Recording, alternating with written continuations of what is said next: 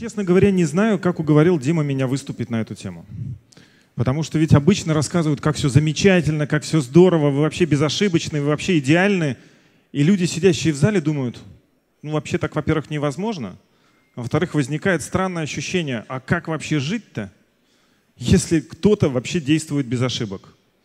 На самом деле все, конечно, не так. Этот доклад очень такой своеобразный рассказ о том, как много ошибок было, которые привели к текущему положению дел. Есть такой анекдот. Соревнования по подводному нырянию. Знаете, Василий Иванович и Петька. Классика. И выиграл Василий Иванович. Петька его спрашивает, слушай, ну ты ж плавать-то не умеешь. Он говорит, за корягу зацепился. На самом деле в бизнесе очень часто так бывает, когда мы что-то не умели, решая какую-то проблему, мы вдруг вынуждены были стать лучше, вынуждены были стать другими. У меня есть 25 минут, чтобы рассказать вам, как это происходило с нашей компанией. Вообще ошибок, ошибки бывают самыми разными. Но есть, наверное, три больших категории. Одна из которых под, связана с людьми, другая с финансами, а третья с временем. Причем это главные ресурсы, которыми мы, видимо, управляем – и исходя из этого, можно, наверное, говорить, что и отсюда проистекают ошибки. Про людей мы очень часто говорим, что мы не тех взяли. Нам всегда хочется найти какую-то звезду. А вот если бы у меня были крутые программисты или супермаркетологи, и это всегда создает у нас ощущение, что у других как-то по-другому. Про деньги. Нам кажется, что кто-то лучше профинансирован, у него лучше прибыли, у него какие-то еще обстоятельства. И мы тоже смотрим на это, и кажется, что мы совершаем те или иные ошибки, связанные с ресурсами. Там есть, кстати, две категории ошибок. Когда денег слишком много или когда их очень мало. И мы в этом смысле совершаем ошибки. Когда мы говорим о времени, самая большая ошибка — это думать, что у нас времени безмерно. Мы можем долго что-то выпускать, или у нас есть время долго принимать решения. Но не всегда так получается по жизни. И я, видите, начну с каких странных дальних годов. С момента создания нашей компании. Компания Bittrex 98 -го года создания. И мы начинались в тот кризис, большой кризис. И начинались мы как аутсорсинговая компания. То есть на самом деле мы продавали себя по 5 долларов в час – вы знаете, это тогда были такие шикарные деньги.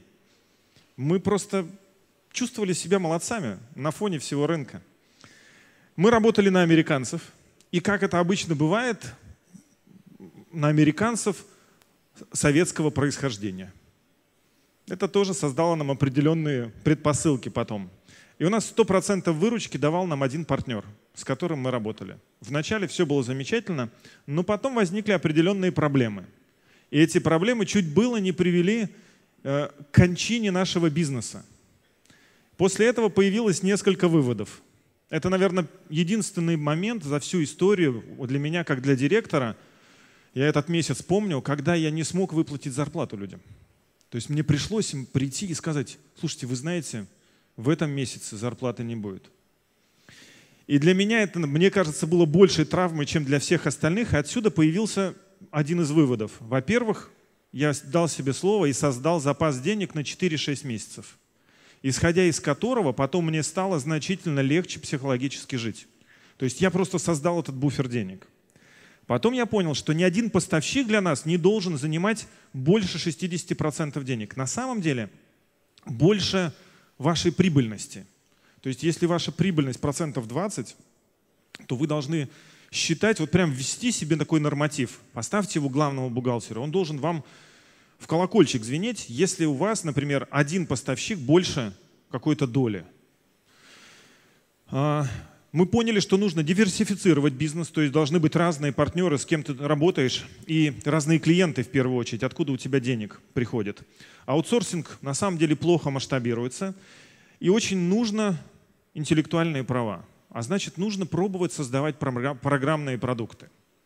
Мы выжили в тот кризис. Мы научились, мы подписали несколько новых договоров, начали работать с американцами, и появилась еще одна компания. Появилась, появился Bittrex как веб-студия.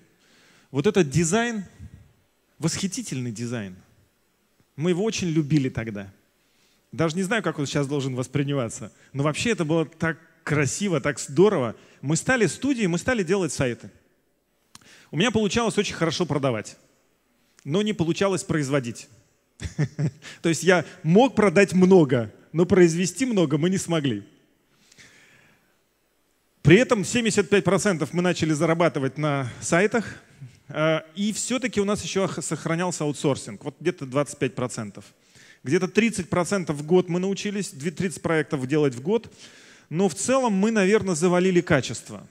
И тогда случился момент, который, наверное, есть в жизни каждого директора, но мы каждый должны на него реагировать по-разному. Мне нужно было ехать сдавать очень крупному заказчику два проекта.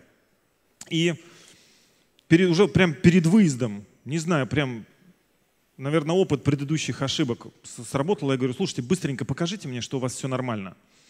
Я сел за компьютер, мне открыли сайт, и я на него смотрю. Они стоят, волнуются. И я мышкой вожу, вожу. Ну, я читаю сайт, я смотрю, я понимаю, где они все сделали. Первая ссылка, в которую нажимаю, 404. Слушай, одна ссылка, ты вообще как-то попал магически не туда. Ну ладно, возвращаюсь назад, опять сижу, 30 секунд, тишина, опять нахожу ссылку, ну мне по смыслу кажется, я вообще подумал, интересно, а как же они это сделали? Нажимаю 404. Все оправдываются, снимая сцены, я набираю клиента и при всех говорю, вы знаете, извините, пожалуйста, я сейчас принимал ваш проект – и столкнулся с таким количеством ошибок, что мы не сможем сдать вам проект сегодня. Мы переносим его сдачу на неделю и сделаем там изменения за свой счет и привезем вам уже сдавать через неделю. И в итоге из этого этапа появились какие выводы? Конечно, стало понятно, что недостаточно продать, нужно еще произвести с нужным уровнем качества. А для того, чтобы производить с нужным, нужным, нужным уровнем качества, нужна технология внутри, технологический процесс. Нужно как можно системнее относиться к производству. Это еще период, когда э, не было, по большому счету, тиражных продуктов, как для сайта строения. По сути, каждый проект собирали из запчастей. Нужно сформировать культуру неприятия дыр внутри компании. И в итоге тогда и начинается формироваться некая атмосфера внутри компании. И в этот момент, кстати, мы полностью решили отказаться от аутсорса. То есть мы, во-первых, поверили в себя, что мы нормально умеем продавать. А во-вторых, стало понятно, что мы на аутсорс задействуем самых дорогих людей. И нам нужно их выделить и направить на построение внутреннего производства в компании. И мы выделили, собрали этих людей. И человеческий фактор. У нас тогда было человек 12. Вообще, кстати, прекрасные времена. Я до сих пор помню. Это один чихнул, и ты уже знаешь, что он заболел. И ты уже знаешь, что вот на следующей неделе вы этот проект ну никак не сможете сдать. Потому что э, управление происходит на кончиках пальцев. Я до сих пор помню, что мы тогда еще находились в трехкомнатной квартире, снимали трехкомнатную квартиру, и вот еще, кстати, до семи человек, нет, до пяти человек мы готовили по очереди. А когда нас стало шесть, команда собралась, говорит, Сергей, ты вроде неплохо продаешь, давай ты готовить не будешь и они меня отправили продавать. На самом деле все начинается именно так, и тогда появился э, опыт. Так, мы потихонечку росли и начитались, начитались интернета и статей. Тогда это называлось не SaaS, а называлось ASP – Application Service Provider. Мы начитались, что вот сейчас все начнут все сдавать в аренду. Напоминаю, 2002 год мы сделали интернет-магазины в аренду – это сколько же лет назад-то? 14 лет назад. Это при этом мы успешно продавали интернет-магазин. Причем я приезжал тогда заказчику, делал выступления и продавал в среднем от 3 до 5 тысяч долларов. Ну так, нормально получалось. По тем временам красотища. И тут мы сделали систему арендуемых интернет-магазинов, и я стал приезжать к клиенту, все то же самое выступление. Он говорит, сколько? Я говорю, 50 долларов в месяц. Он только на меня смотрит – а в чем, говорит, смысл? Я почему-то был уверен, что смысл в этом есть. И продолжал действовать так же. А они были уверены, что мы занимаемся какой-то ерундой. Да, они покупали. Клиенту это было очень выгодно. А мы как? В учебниках же писали, давайте 50 долларов поделим на 2,5 года, вернее, цену проекта, а то, что там риски, себестоимость, владение, отток, мы вообще этого не посчитали. В итоге, проект, конечно, еще мы тогда технологии майкрософтовские выбрали, тоже учебника начитались. И все это оказалось очень странно. Какие выводы на этом этапе сделали из этих ошибок? То есть проект мы окупили. Вот, пожалуй, мы практически всегда, вот кроме первой истории, когда мы потеряли деньги на американцах, нам всегда удавалось окупать, день, э, окупать всю деятельность наших. Но какой вывод здесь мы сделали? Во-первых, очень избыточная концентрация на технологиях. Это не важно для клиента. Клиенту важно решение – Получился продукт XML, XSLT, такая технология. Вот два человека в нашей компании могли этот шаблон править. Мы его показывали партнерам, они хватались за голову и говорили, господи, вы, ну вы, да, вы крутые. Спасибо вам за выступление. В итоге, для того, чтобы запустить SaaS, мы поняли, нужно иметь запас денег на полтора-два года. А, если вы делаете лично продажи, вы в убытке – как сказала однажды Наталья Касперская, при цене антивируса 30 долларов, если к нам перезвонил клиент, мы в убытке. И вот если вы делаете продукт за, 2, за 50 долларов, вы не должны говорить с клиентом. Потому что если вы подняли телефон, и не дай бог вы к нему поехали, ну просто на час умножьте, вы не можете делать ему такую дешевую продажу. Бизнес-экономики не хватает для этого. Удивительно было это осознавать. Два ругательных слова – самообслуживание и самопродажа – если цена небольшая, значит самообслуживание и самопродажа. Нам это потом в будущем пригодится. Привлечение клиентов обходится очень дорого. Это тоже еще одно открытие, которого мы не ожидали. Кажется, что если ты новость выпустил, все ее растиражировали. Черт, а это не так. Проект нельзя выключить SaaS. Это как вывести на орбиту, а потом, ну а как ты его выключишь? И еще один очень важный момент. В SaaS нельзя завернуть консалтинг. А интернет-магазин, клиент очень часто хочет консалтинга. Он хочет, чтобы с ним поговорили, помогли настроить, выбрали с ним службы, до, службы доставки. Коллеги, спасайте. Выбрали какие-то другие запчасти. И какими бы учебными курсами вы все это не обвесили, он хочет, чтобы ему это сделали. Он не хочет делать это сам. Кризис масштабирования. Желающих купить нашу платформу становилось все больше, но это был пока еще внутренний продукт. Мы не могли много производить и поддерживать столько сайтов, сколько было запросов. Но CMS для нас еще все была услугой. Она уже была таким набором запчастей, но до третьей версии, там 2.2 версию, помню, 2.3, это все еще наши такие наработки, которые мы копировали, и они еще продуктом не были. Вот такая вот самоделка. Я в 2002 году съездил на доклад на конференцию SDEV, и послушал доклад Михаила Филипенко, и он рассказывал о том, что он продает по всему миру библиотеки для C++. Ну, для языка программирования. Это графические отчеты. Я вот его слушал и не мог поверить. Я говорю, подожди, у тебя покупают не программу с инсталлятором, а покупают прям библиотеки? Он говорит, да, они берут сами и прикручивают к своим библиотекам, и дальше получаются продукты. Я вернулся в компанию и говорю, ребята, мы должны сделать продукт. Все, что мы делаем, это обычный продукт. Вы даже не представляете, сколько было споров. Это не так, это не по то, это усл... и так далее, и так далее. Полгода мы спорили. В итоге получился совершенно другой продукт. У нас перед нами тогда стоял путь. Либо делать тиражный продукт, либо самим масштабироваться, открывать представительство и дальше-дальше расти. На самом деле у этого ответа есть разные, у этого вопроса есть разные ответы. И опять же мы долго спорили и выбрали путь более долгий, который, на наш взгляд, давал меньше денег в начале, потому что реально ты должен отказываться от больших проектов. И он обещал какие-то деньги впереди. Мы выбрали этот путь. Я помню этот момент, когда мы, к нам приходил клиент, вполне успешные были такой веб-студии. Мы договаривались уже тогда тысяч на 10-15 долларов. Я потом вот с этим заказом приходил к компании, студии, которые еще не были нашими партнерами, вот так вот перед ними клиента представлял и говорю, будете делать? Они такие, в чем подвох? Я говорю, только одно условие. На Битриксе.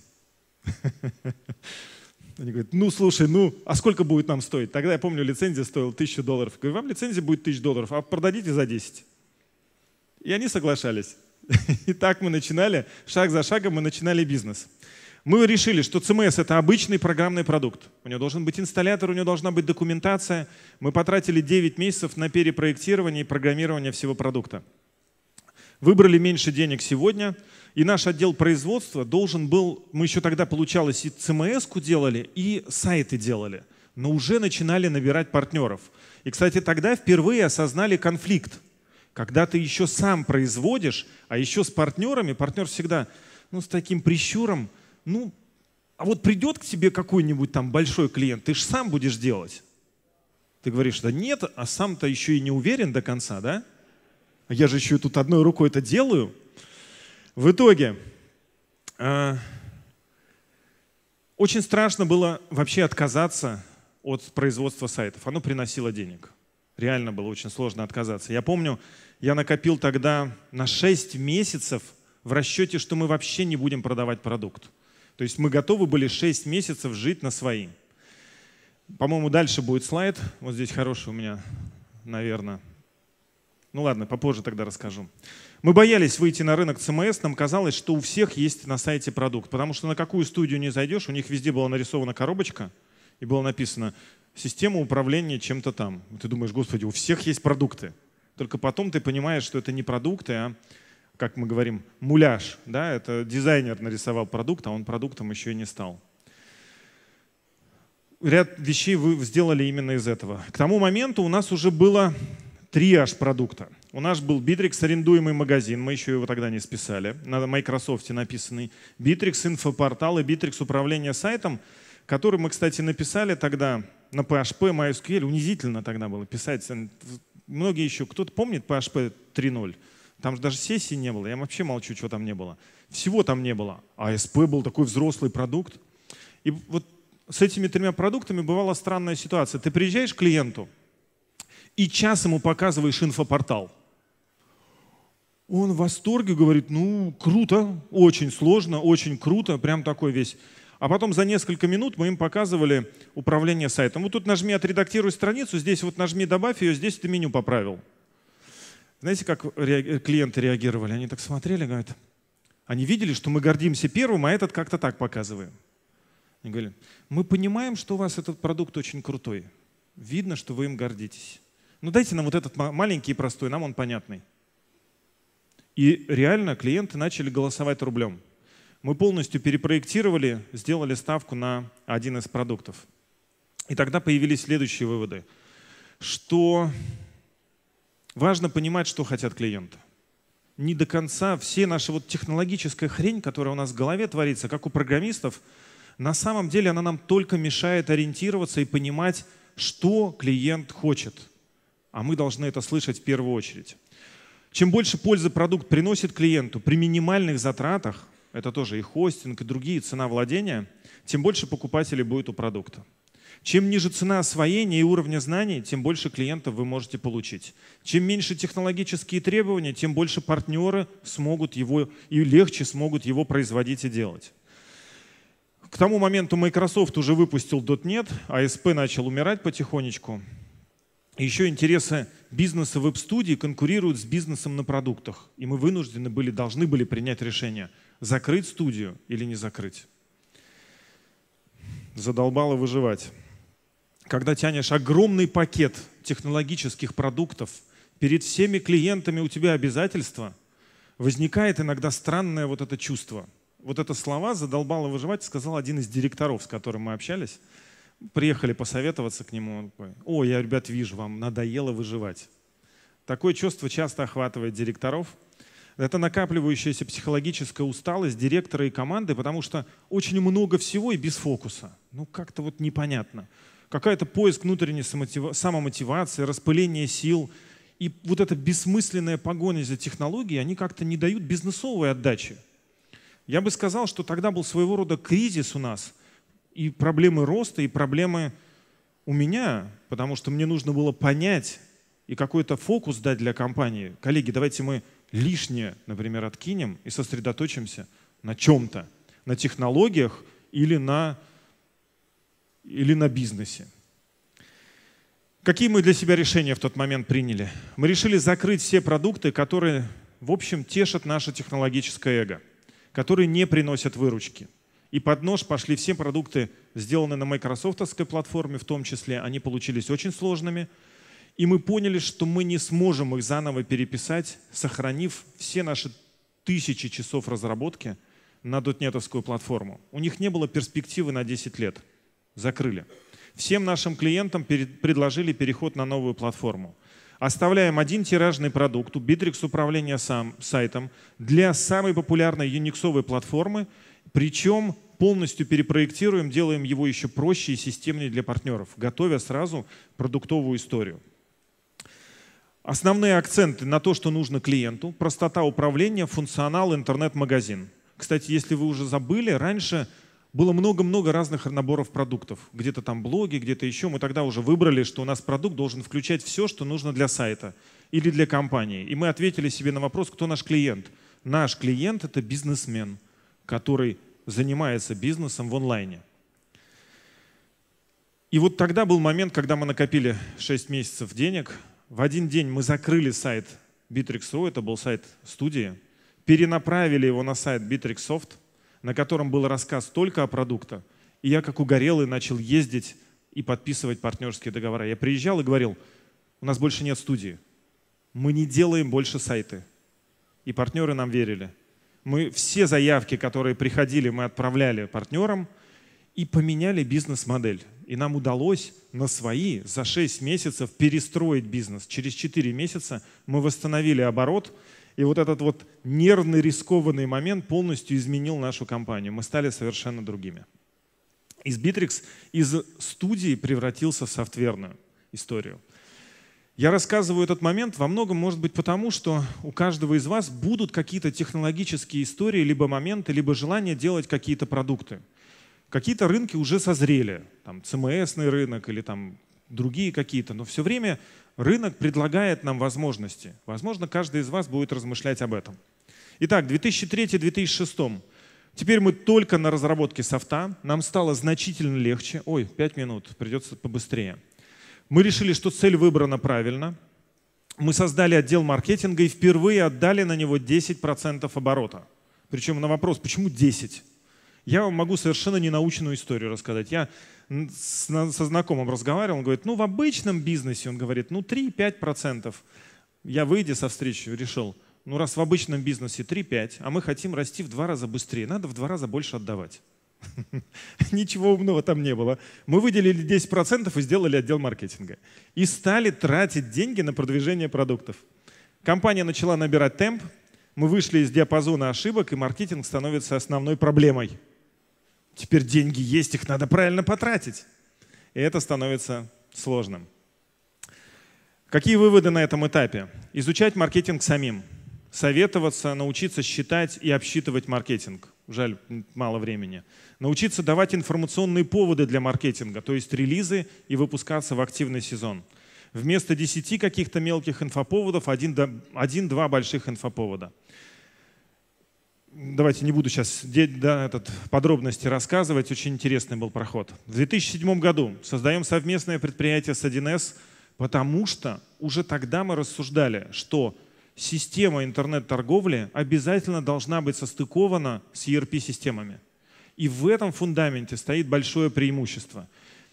Мы это решение приняли в 2007 году, а в 2011-2012 SAP и Hybris – начали покупать аналогичные продукты на рынке. То есть чуть вперед нам удалось сделать соответствующий расчет. Так, 4 минутки, ну давайте будем дальше двигаться. Одна из больших и самых дорогих ошибок. Мы решили, что мы софтверная компания, мы можем делать продукты вот сколько угодно. Мы вложились еще в один продукт, .NET Forge, сделали его на, на платформе Microsoft, договорились с ними, прям вот любовь и все должно было получиться. В общей сумме мы потратили больше миллиона долларов и а, больше пяти лет в разработку этой платформы, наверное, даже шести. И год за годом получалось, мы видели, что Microsoft нас уже не очень любит из-за того, что появился Bittrex 24, и мы видели, что у нас не очень идет этот продукт. И знаете, как это бывает? Если что-то идет не так, то либо это ошибка, либо проверяется наше упорство. И мы, ну, наверное, два года считали, что проверяется наше упорство. Хотя вообще это была ошибка. В итоге, я помню это собрание, мы решили списать этот миллион долларов, мы сказали, все, мы дураки, у нас ничего не получилось. Весь наш опыт по проектированию нового продукта нам очень пригодился. Мы потом использовали его при проектировании D7 для управления сайтом. Microsoft внутри себя после выпуска нами корпоративного портала сделал у себя так называемый Battle Card, и мы для себя решили, что мы никогда не научимся больше зарабатывать на Microsoft. Так вот мы вычеркнули этот пункт, решили, что этой компании, наверное, какой-то другой путь, но только не с нами. Или нам не с ними. 2008-2010 год. Нам нужна была диверсификация, нужны были новые продукты. То есть по управлению сайтом двигалось все как бы понятно, но мы создали еще один продукт – корпоративные порталы. Вообще расчет был довольно тонкий. Мы, мне кажется, хорошо спрогнозировали изменения в корпоративной среде. Мы очень удачно попали в начало сегмента растущего. Недооценили SaaS – то есть мы сразу не сделали облако, вы помните, мы сделали сразу коробку. Почему мы не сделали облако? А когда ты уже один раз ошибался, всегда ведь тяжело потом переубедить себя, что, слушай, момент-то изменился, это уже все по-другому. Мы еще сделали одну ошибку. Мы посмотрели на SharePoint, на майкрософтовский продукт, и почему-то решили, что мы с ним должны конкурировать. Это была огромной ошибкой. Другой сегмент составался, другие клиенты приходили – и мы реально с вами в 2010-2012, ну вот в 2012 году, в 2011 реально запустили изменения и по SaaS, и по концепции, и в 2012 представили совершенно новый продукт. Избавились от наших двух внутренних проблем. Но тем не менее, корпоративный портал начал очень-очень быстро развиваться. 2012 год запускается Bittrex 24. Внутри была проделана огромная работа. То есть для того, чтобы убедить компанию повторно запустить SaaS – мы уже сделали полную стратегию расчета. У меня есть даже такой доклад, ну, в этот раз его не, не стали вытягивать, где я рассказываю по запчастям, почему она такая, почему большой бесплатник, почему мы действуем так и как мы видим стратегию перспективы. Вот этот расчет был сделан в 2010-2011 году. Большая технологическая подготовка этому предшествовала, потому что мы понимали, что выйдя на орбиту, мы уже не сможем свести этот продукт вниз. И ты его должен будешь реконструировать в полете – двигатели менять, расширять, надежность обеспечивать и так далее. Те ошибки, которые у нас были раньше, они нам очень сильно помогли в проектировании, в создании этого продукта уже на этом этапе. 2014-2016 продукт Bittrex 24 отлично развивается. И вот в этом этапе мы начали осознавать, уже когда там получилось сотнями тысяч клиентов, мы начали видеть некоторые моменты, лучше понимать нашу аудиторию. То есть ты продукт для одного планируешь, а его используют по-другому, например. Сегодня я уже рассказывал о том, что у нас есть три главных группы. Те, которые для коммуникации, те, которые для задач и те, которые для CRM. Мы стали делать акценты и лучше работать с этими группами. Вот последние изменения по интерфейсу, по целому ряду других вещей. Это наш ответ пониманию того, что изменяется. И мы учимся для себя, опять же, какие выводы из этих этапов. Не забывать говорить с клиентами и с партнерами. Современный рынок на выход коммуникации между компаниями и клиентами. Тут мы действительно, я считаю, очень удачно попали и своевременно вышли. Модифицировать, развивать продукт, корректировать бизнес-стратегию, если это требуется, и менять производственный цикл. На сегодняшний момент, кстати, ну, время уже не позволяет, 12 языков, 14 доменов и продукт, который работает во всех часовых поясах. 12 дата-центров и вот на этой карте видно, каждая точка, то есть каждый круг и каждая цифра — это компания. И все часовые пояса, те, которые зеленые, это активно работают вот в данный часовой пояс. На каждом сайте есть эта карта, посмотрите. Там иногда очень интересно добираться до каких-то островов, либо для стран, для того, чтобы посмотреть, как работают эти клиенты.